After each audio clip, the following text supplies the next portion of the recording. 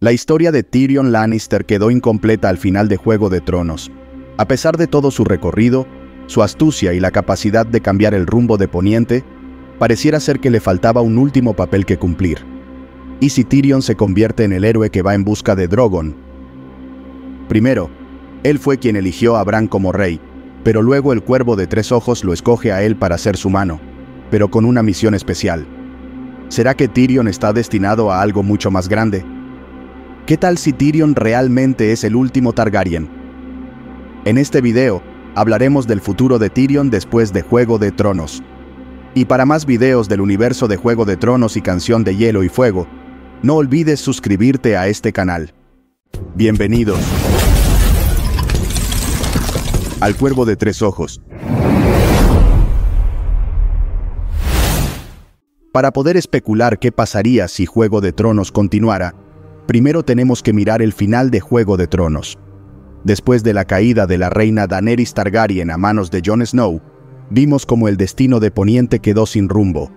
Tyrion, aún siendo prisionero, tomó la palabra ante los más poderosos de Poniente y les pidió algo que nadie esperaba, que eligieran juntos al nuevo gobernante. Esto lo pide para resolver el problema de qué hacer con Jon, ya que se supone que le den algún tipo de castigo por traicionar a la reina. Los Inmaculados querían su muerte, y sus hermanas entendían que el pueblo no quería el mal para John, pues los liberó de la reina que se había convertido en una dictadora. Pero ninguno sabía a quién elegir, por lo que le preguntaron a Tyrion mismo quién él pensaba que merecía esa responsabilidad de regir como rey. Tyrion, después de días encerrado en soledad, ya tenía en mente a la persona correcta, según él. No un guerrero, ni un líder con poder militar o riquezas, sino alguien cuyo valor resida en algo mucho más simple. Las historias. Tyrion sabía que ni el oro, ni las banderas, ni siquiera los ejércitos podían unir a las personas, pero sí las historias. Pues no hay nada más poderoso que las historias, ya que nada puede detenerlas, ni siquiera los enemigos. ¿Y quién tiene una mejor historia que Bran el Roto? Si venimos a ver, Bran tiene un pie en el pasado estando en el presente, y otro en el futuro gracias a que ahora es el cuervo de tres ojos. Sus visiones lo convierten en la memoria viviente de todo lo que ha sido y será. Quien se supone que guarde fielmente las guerras, las bodas, nacimientos, masacres, hambrunas, triunfos, las derrotas y todo el pasado. Por lo que les pregunta, ¿quién mejor para guiarnos hacia el futuro? Pero faltaba lo más importante, preguntarle a Bran si aceptaba la corona si ellos lo eligen a él, todos sabemos que ahora Bran ya no es Bran Stark, sino que ahora es el Cuervo de Tres Ojos, una persona completamente diferente, pero que está en el cuerpo de Bran. En varias ocasiones durante la serie Bran hizo énfasis en eso. En varios videos anteriores he teorizado que Bran, o más bien el Cuervo de Tres Ojos, tiene su propia agenda desde hace mucho tiempo. Lo curioso es que no sabríamos decir si su fin era solo reinar, o si tiene un plan más allá que simplemente ser el rey, lo que sí sabemos es que definitivamente el cuervo quería la corona, y lo más probable siempre fue así. Bran Stark no quería ser rey, y por eso es que Tyrion le pregunta a Bran, que si ellos lo escogen, Bran aceptaría la corona. A lo que el cuervo le contesta, ¿por qué crees que vine hasta acá? Por lo que Tyrion nombra a Bran como nuevo rey. Una vez en el trono, Bran nombra a Tyrion como su mano, y aunque Tyrion no quería ser mano del rey nuevamente, Quizás por la experiencia que vivió siendo la mano de la reina Daenerys, a Tyrion no le queda más remedio que aceptar, ya que Bran le devuelve su lógica. Al igual que él no quería ser rey, Tyrion debe asumir la responsabilidad de ser su mano, y ahora es la mano del rey cuervo de tres ojos. Luego, en la primera reunión del consejo, el rey cuervo parece tener una prioridad bastante curiosa.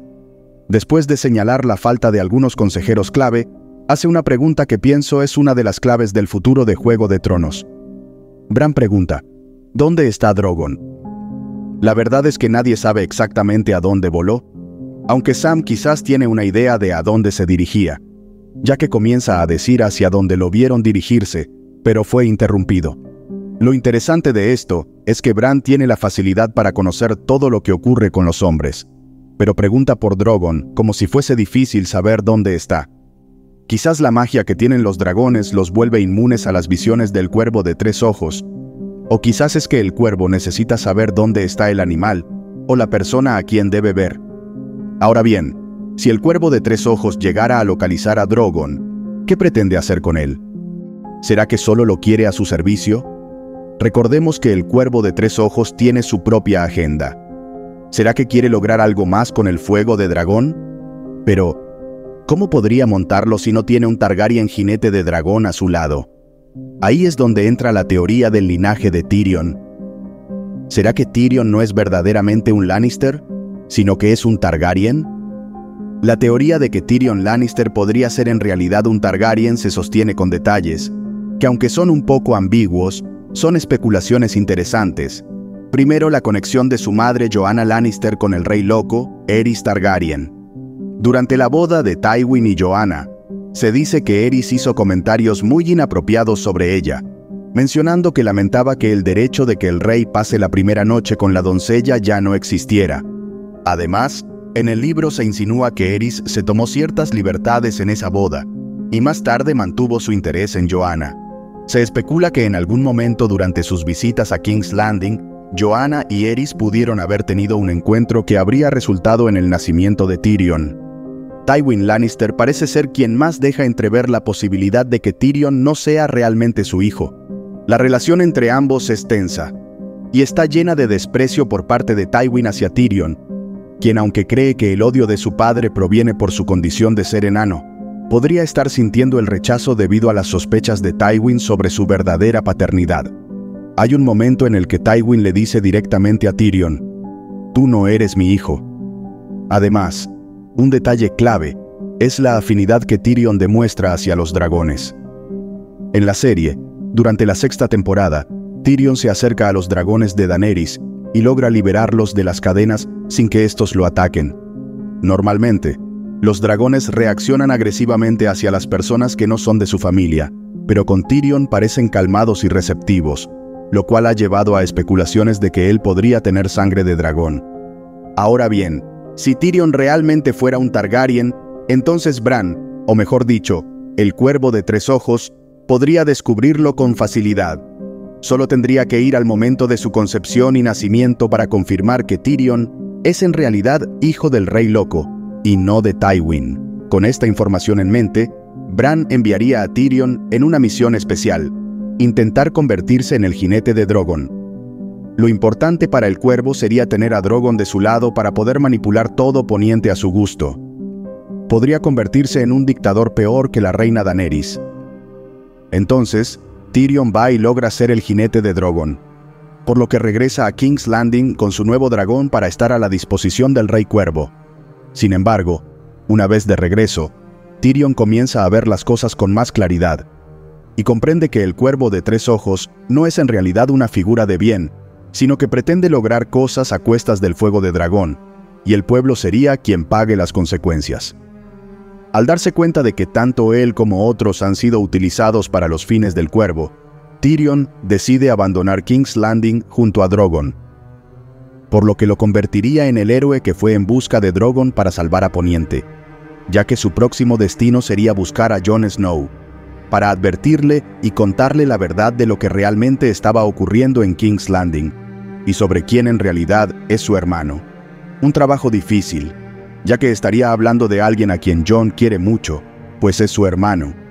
Pero Tyrion debe lograr convencerlo, así como lo convenció para acabar con Daenerys, para así unir fuerzas y poder derrotar a la verdadera amenaza de Poniente. Por lo que Tyrion estaría destinado a algo mucho más grande de lo que vimos en Juego de Tronos, porque si descubre la verdad sobre su verdadera familia, jamás se quedaría de brazos cruzados. Más bien buscaría a su sobrino Jon Snow para resolver el verdadero problema que enfrenta Poniente. Pero cuéntame lo que piensas de todo esto. ¿Podría Tyrion ser realmente un Targaryen? ¿Crees que Bran debería investigar esta posibilidad? ¿O su conexión con los dragones fue simplemente una coincidencia sin mayor importancia? Déjame tu opinión en los comentarios. Y si te gustó este contenido, te invito a que te hagas miembro de este canal. Cada colaborador verá su nombre al final de todos los videos. Y para más videos de teorías, noticias e historias del universo de Juego de Tronos, No olvides suscribirte a este canal. Estás en El Cuervo de Tres Ojos.